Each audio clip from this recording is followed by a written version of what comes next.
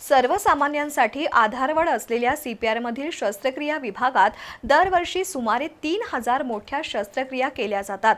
अंगावर गरम पाणी पडल्यानं ऐंशी टक्के भाजलेल्या एका पावणे चार वर्षाच्या बालिकेवर सीपीआरमध्ये यशस्वी उपचार झाले. तर पंचेचाळीस वर्षीय महिलेच्या गळ्याची थायरॉईडची पाऊण किलो वजनाची गाठ काढण्याची शस्त्रक्रिया सुद्धा यशस्वी झाली आहे अशी माहिती अधिष्ठाता डॉक्टर एस एस मोरे आणि विभाग प्रमुख डॉक्टर वसंतराव देशमुख यांनी पत्रकार परिषदेत दिली.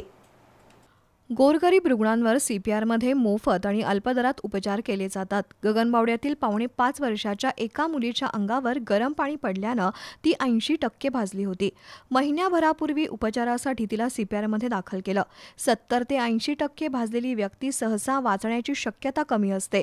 पण प्लास्टिक सर्जन तज्ज्ञ डॉक्टर प्रशांत चौधरी आणि त्यांच्या टीमनं अतिदक्षता विभागात त्या मुलीवर उपचार सुरू केले. सुदैवानं ती मुलगी उपचाराला चांगला प्रतिसाद देत होती. महिनाभराच्या उपचारानंतर ती बालिका पूर्णपणे बरी झाली. आज तिला घरी सोडण्यात आलं.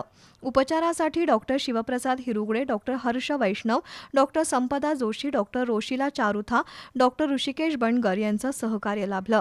दुसरीकडे वाशिम जिल्ह्यातील पंचेचाळीस वर्षीय सुमती थाळे ही ऊसतोड मजूर महिला कोल्हापुरात ऊसतोडणीच्या कामासाठी आली होती. तिच्या गळ्याला थायरॉईडची मोठी गाठ होती. पंधरा वर्षात ही गाठ पंचवीस सेंटीमीटर इतक्या आकाराची झाली होती. त्यामुळे तिला श्वास घ्यायला त्रास होत होता. सीपीआरमधील सर्जरी विभागात ती दाखल झाली. तपासणी केल्यानंतर तिच्या अंगात रक्त कमी असल्याचं स्पष्ट झालं. रक्त चढवून गाठ काढण्याची शस्त्रक्रिया करणं अतिशय जिकरीचं होतं. पण धोका पत्करून doctor Madhur Joshi doctor Harsh Vaishnav doctor Sampada Joshi doctor Roshil Charutha doctor Hrishikesh Bangar doctor Crislina यांच्या पथकानं ही शस्त्रक्रिया यशस्वी केली. शस्त्रक्रियेसाठी भूलतज्ञ डॉक्टर आरती घोरपडे डॉक्टर निलेश जावे यांचंही सहकार्य लाभलंय. काढलेली गाठ सातशे ऐंशी ग्रॅम वजनाची होती. सीपीआरमध्ये अशा प्रकारची शस्त्रक्रिया पहिल्यांदाच करण्यात आली. ही महिलाही पूर्णपणे बरी झाली असून तिला घरी सोडण्यात आलं. सीपीआरमधील शस्त्रक्रिया विभागात वर्षाला अडीच ते तीन हजार मोठ्या शस्त्रक्रिया केल्या जातात.